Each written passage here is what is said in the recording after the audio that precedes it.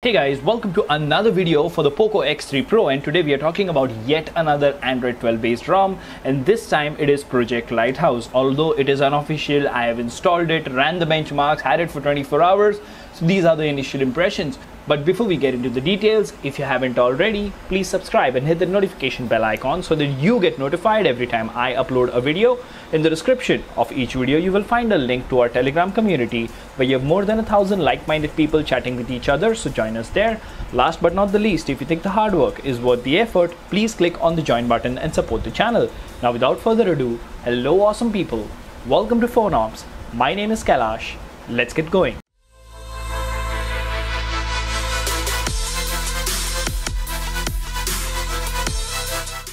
Alright, so what do we have here? Project Lighthouse unofficial Android 12 updated on the 14th of October 2021.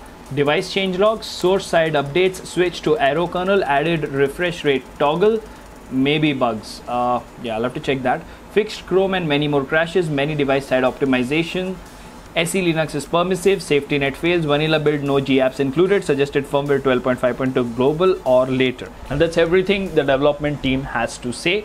First things first, how is this ROM? This ROM is decent. I have had this since yesterday, and of course, as you can expect, this is Android 12, so there will be bugs here and there, and there will be some issues that you will face.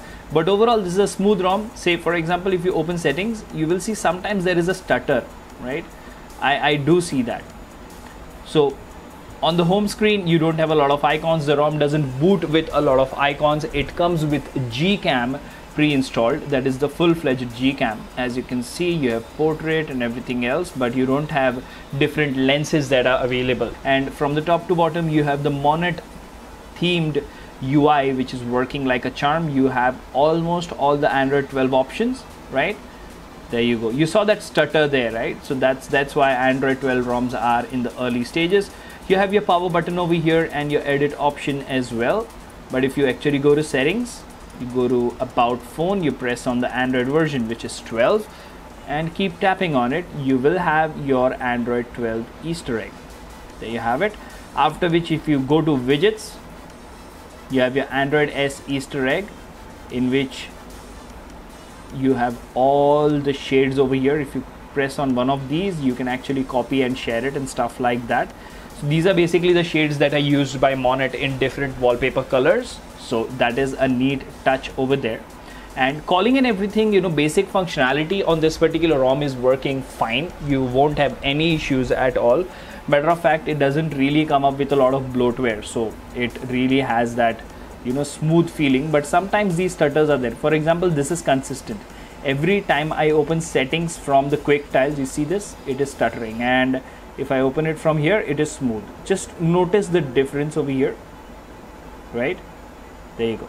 So those stutters are there but if you talk about android 12 you, have all the advanced options that you get with android 12 working like a charm. I've not seen any major major issues over here. So you have apps notifications under notifications you have bubbles and granular control enhanced notifications that is there. Under battery you have battery manager battery saver and battery percentage. Now under battery if you click on battery manager you get a settings force closure. So that is one of the issues.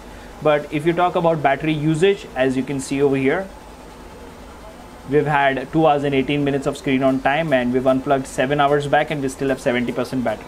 So the battery life is pretty decent. Moving on under sound you have your usual set of options and in display as well you have your refresh rate toggle for 120 hertz or 60 hertz. You can go ahead and change that and in security you don't really have face unlock. So let's actually go to security over here. You have your fingerprint which works like a charm but you don't have your face unlock. So you know all in all this rom is pretty rock solid. It is a good start for lighthouse team towards android 12 now let's go ahead and quickly have a look at the benchmark numbers. So you go to gallery go to screenshots CPU throttled to 91% of its max performance and the average score is 178,724 GIPS. So that in my books is low because on a big ROG ROM the K20 Pro scored around 200,000 GIPS average. So that is a low score and I'm pretty sure that will improve with time and a different kernel maybe. So if you go to history over here, 735 single core, 2433 multi core. Again, that's a low score So Android 12 across the board on the Poco X3 Pro, I have seen a couple of things. One, the overall brightness of the screen is lower than expected or anticipated on other ROMs based on Android 11. The benchmark scores right now are really low. So even 540 226 is the score in Antutu as well. So all in all, Lighthouse team, good start. You can definitely go ahead and try this ROM guys if you want, but there are some force closures, there are some issues here and there. So I would not recommend to use this as a daily driver. Maybe two or three builds later down the line, you will have better performance and no force closures.